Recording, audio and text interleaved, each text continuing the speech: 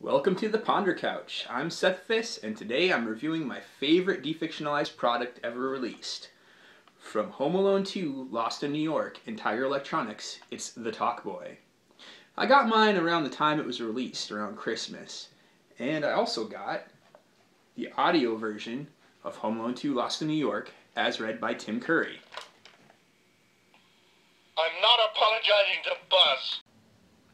But how do you review the Talkboy? With most defictionalized products, you eat or drink them and talk about how they taste, since most defictionalized products are food or drinks. But the Talkboy is a tape recorder.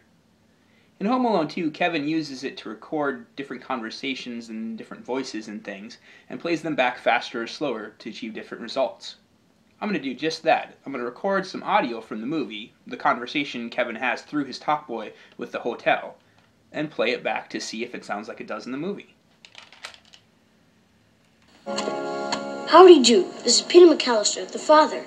I'd like a hotel room, please, with an extra large bed, a TV, and one of those little refrigerators you have to open with a key. Credit card? You got it.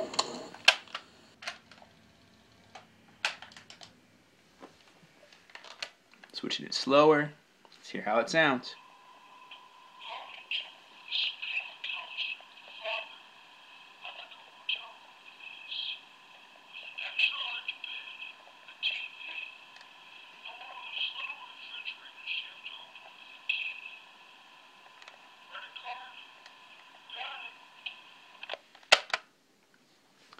Now for the next section, I'm going to record the part that's slowed down and play it back faster to see if it sounds like Kevin.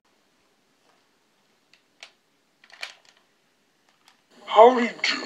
This is Peter McCallister, the father. Yes, sir. I'd like a hotel room, please, Yes. with an extra large bed, a TV, and one of those little refrigerators you have to open with a key. Yes, sir. You'll need a major credit card upon check-in. Credit card? You got it.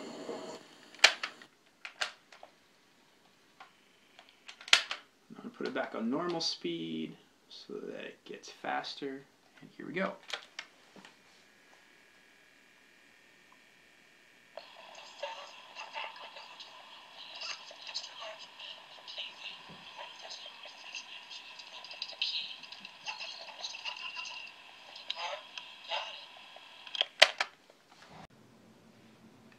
So what do I think of the Talkboy?